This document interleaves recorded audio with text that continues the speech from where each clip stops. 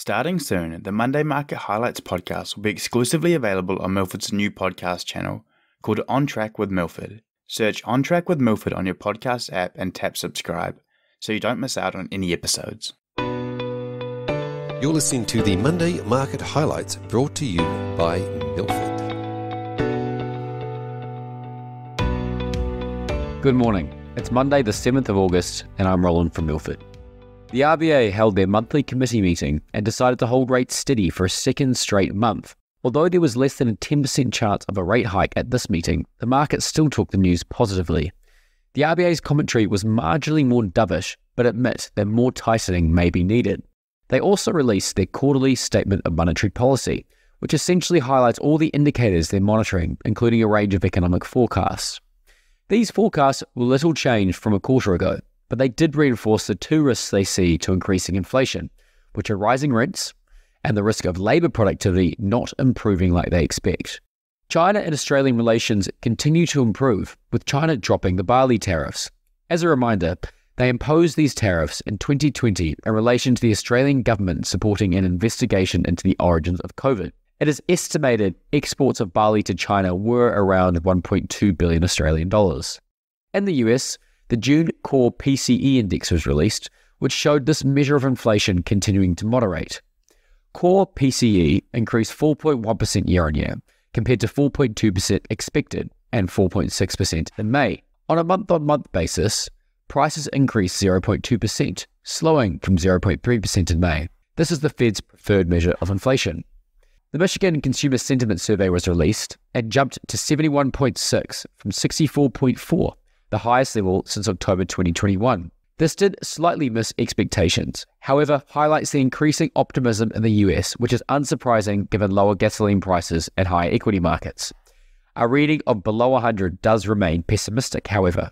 Also in the US, ISM manufacturing data was released, which was slightly softer than expected at 46.4 versus 46.8 anticipated. It did, however, marginally improve month on month. A reading below 50 implies contracting manufacturing activity. This survey has implied contraction since November 2022. Finally, in the US, the monthly jobs data was released, which had something in it for the Bulls and the Bears. Total jobs added missed expectations, coming in at 182,000, slightly weaker than anticipated. However, this could arguably be offset by higher than expected wage growth of 0.4% month on month and a tighter unemployment rate of 3.5%. Turning to equity news, the ACCC has blocked the sale of Suncorp's banking arm to ANZ. They were fearful it may lessen competition, and in their actual words, they weren't satisfied it wouldn't lessen competition. Most believe their argument is tenuous, and hence ANZ are going to challenge the decision through the courts. ResMed released their second quarter earnings, which missed consensus by about 7%. The strong revenue result was overshadowed by a weaker gross profit margin and higher OPEX. Investors were led to believe gross margins were improving, so the market was particularly disappointed in this result. It would have been flat if not for an FX headwind. However, the lack of it increasing was also put down to product and geography mix. ResMed fell 10% on the day, however, fell another 20% in the US on Friday night, albeit that's quite an illiquid market. TPG Telecom confirmed speculation around the potential sale of some of their assets to Vocus, who is owned by Macquarie Infrastructure. The scale of the transaction was a surprise to the market, as they are considering selling their entire enterprise government and wholesale business, the accompanying infrastructure, and what sounds like most of their fibre for 6.3 billion Australian dollars. They'd be left with their mobile business, their macro towers, and the NBN reselling division. TPG rallied 11.5% on the day, although gave back some of this throughout the week. Credit Corp released their full year results, which came in line with consensus.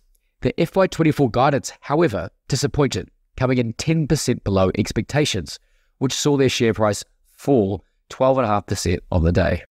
Looking to the week ahead, Australian reporting season will be ramping up aggressively through August, which will provide great insights into how companies are managing these tricky economic conditions. US inflation data will be released, with economists expecting 0.2% month on month inflation for both core and headline data. In addition, PPI will be released for July, and economists are also expecting a 0.2% monthly increase. In the UK, second quarter GDP data will be released, with the market expecting 0.2% annual growth. However, June specifically is expected to increase at a stronger 0.5% year on year. Thanks for listening. We'll see you next week.